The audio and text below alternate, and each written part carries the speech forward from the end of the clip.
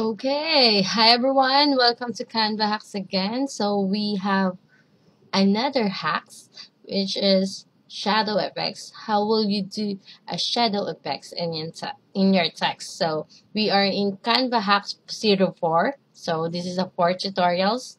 So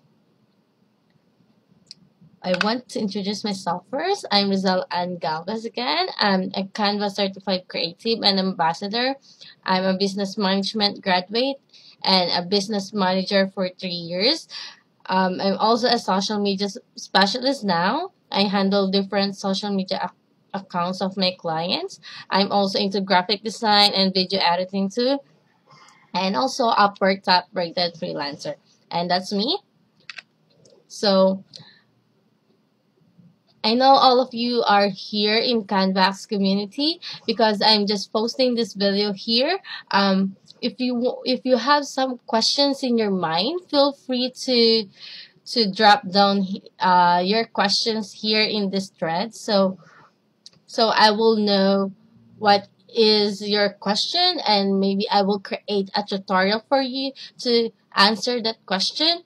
Um, for now, I I already answered the three comments that I have in in this thread. So I create another question for you to have some hacks for this week. So how to create shadow effects in text. So you will know how to create a shadow effect. So so let's proceed.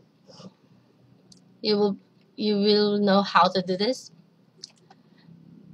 Just go in the template that you want it to have and then add text for example canva hacks as I did before.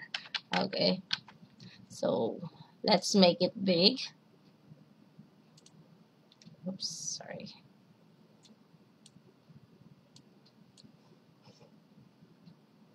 It's just so simple.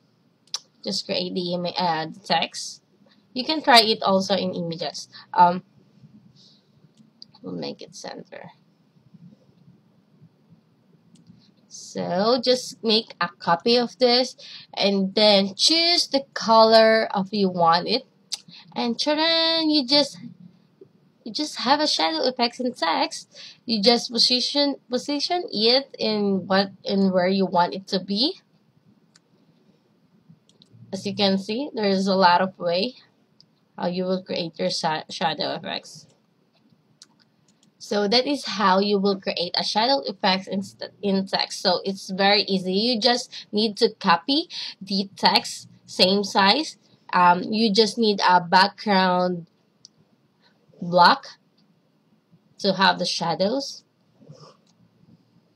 And then another color for your font. So that is how you will create a shadow effects in letters are in text. So I think it's it is very short for today. So so please feel free to comment down in, in this trend the questions you have in mind so we will have it okay and thank you so much don't forget to like this post and comment this comment down on this video and share the Canva hacks community so they will know a lot of hacks. They're, they we will spread a lot of hacks in Canva. So hopefully you can help me and I will help you too.